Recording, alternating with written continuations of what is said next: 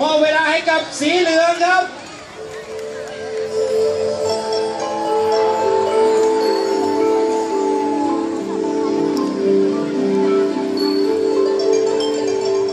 แต่ก่อนการประวัติศาสตร์ประเทศไทย ไม่เคยขาดพระเจ้าแผ่นดิน อย่างเช่น 60 ปีที่ผ่านมา ที่รอยพระบาทของพ่อ ได้ประทับไว้บนพื้นแผ่นดินไทย ผลแห่ง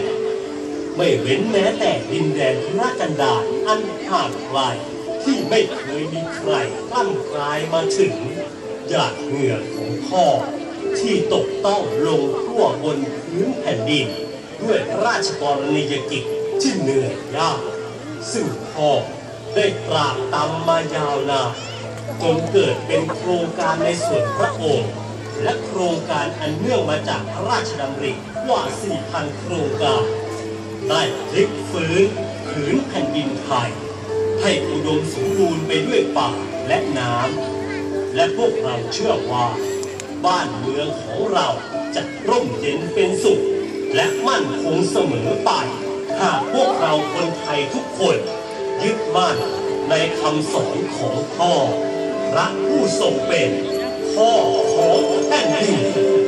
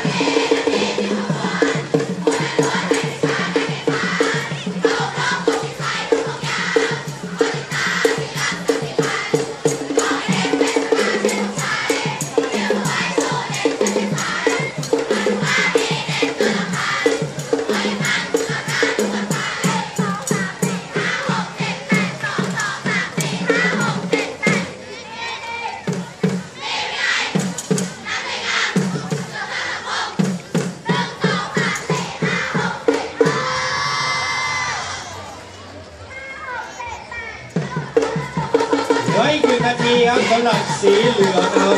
บ